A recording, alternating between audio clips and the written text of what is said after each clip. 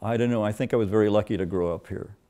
Uh, when I think of all the places I could have grown up, my father uh, could have had a house anywhere in the state since he was the superintendent of all the state parks uh, in, on, from uh, Mendocino to LA and then during the war right on down to the Mexican border. The state provided a house. We could have lived anywhere. But my mother said, I want to be in the fog. She liked the fog. She couldn't stand heat. And she said, I want to go back to Monterey and Carmel, where they were living in 33 and 34. And so my father moved us into the Adobe, the Casa de Oro, the House of Gold down uh, by the First Theater. And so I grew up there from 38 to, to uh, 52.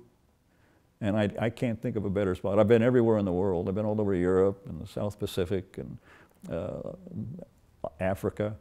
And I can't think of a better place to live than right here. I mean, the as I said before, the weather, uh, people are nice, always nice here. People are always, uh, it's a small town atmosphere. Even though uh, Carmel has grown so much and there's a lot of real estate firms and stuff, the locals are always extremely pleasurable to talk to, intelligent. We have all these wonderful artistic venues like the Bach Festival, and it's, it's hard to beat.